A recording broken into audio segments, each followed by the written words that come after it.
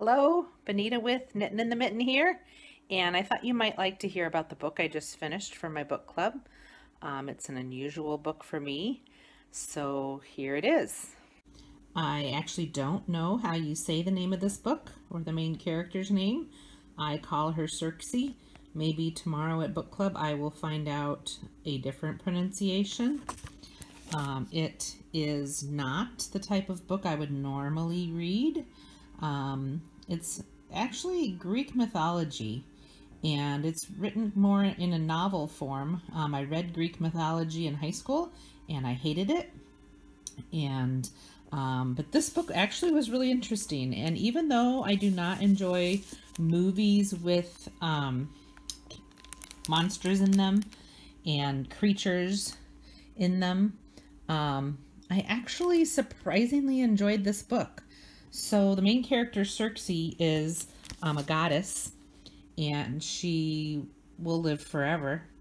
And she also discovers she's a witch. So she um, casts a spell on this woman that she um, is jealous of and turns the woman into like a six or eight headed serpent creature thing.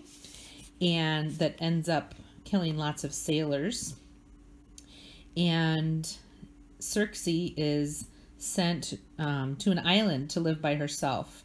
Um, her father and Zeus decided that would be a sufficient punishment for her. So it's about her life on this deserted island.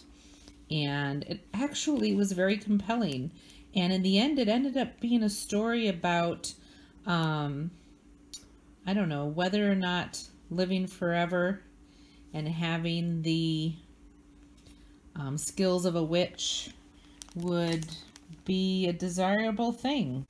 Um, she was able to cast spells um, on animals and people and um, it's just a really interesting story. So if you're looking for something a little different, um, it's very gory and um, so I definitely wouldn't want to see the movie of this book because um, it would probably be very violent and there'd be lots of emphasis on that and on the creatures, which again, not usually a fan of, but um, I really liked the book.